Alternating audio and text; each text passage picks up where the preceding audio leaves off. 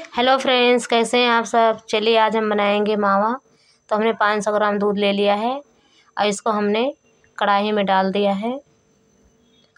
Gas को हमने तेज कर दिया है ताकि ये दूध जल्दी गर्म हो जाए। ये देखिए, अभी दूध उबलने लगा है। ये देखिए, जैसे दूध उबलने लग जाए, बस उसको गैस को स्लो कर दें। ये देखिए जैसे झाग बनेगा, बस इसको कलछी से चलाते जाइएगा। और इसमें ज़्यादा मेहनत नहीं लगती है। ये देखिए, बस इसमें एक दो बारी इसी तरह चला दें। और फ्रेंड्स, ये साथों साथ घर का काम भी करते जाइए। इसमें ज़्यादा टाइम नहीं लगता है और टाइम भी वेस्ट करने की ज़रूरत नहीं है। तो ये देखिए, बहुत जल्दी ये मामा बन जाएगा। बस इसको बीच बीच में ही चलाना है। यहाँ मतलब गैस पे खड़े होने की ज़रूरत नहीं है। ये देखिए, बस जैसे दूध ऊपर आने लग जाए, बस हल्का से चला के रखना है और इस पर ध्यान रखना है।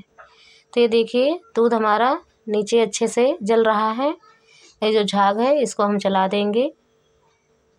ये देखिए, दूध हमारा काफ़ी हद तक जल चुका है। ये देखिए इसी तरह से हम बीच बीच में इसको चलाते जाएँगे।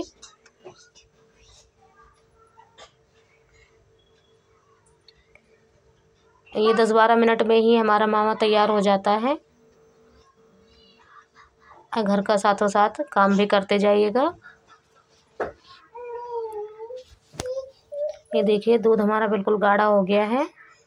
बस ये दो मिनट में बन जाएगा।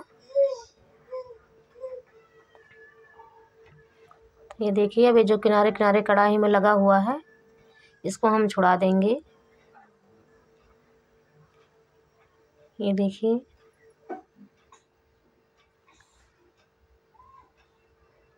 दूध हमारा बिल्कुल अच्छे से गाढ़ा हो गया है, बिल्कुल मावा बन गया है।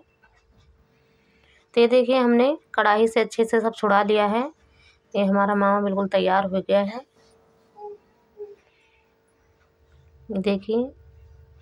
अभी इसको हम एक मिनट और जलाएँगे ताकि अच्छे से सूखा सूखा रहे। तो मावा एक हफ़्ते तक रख सकते हैं। तो इसको अब हम निकाल लेंगे। ये देखिए, हमारा मावा तैयार हो गया है। ये देखिए, ये गैस पाँच सौ ग्राम में, दूध में, ये करीब डेढ़ सौ ग्राम हमारा मावा तैयार हुआ है। तो कैसी लगी मेरी वीडियो? अगर अच्छी लगे तो लाइक करें, ज़्यादा से ज़्यादा शेयर करें।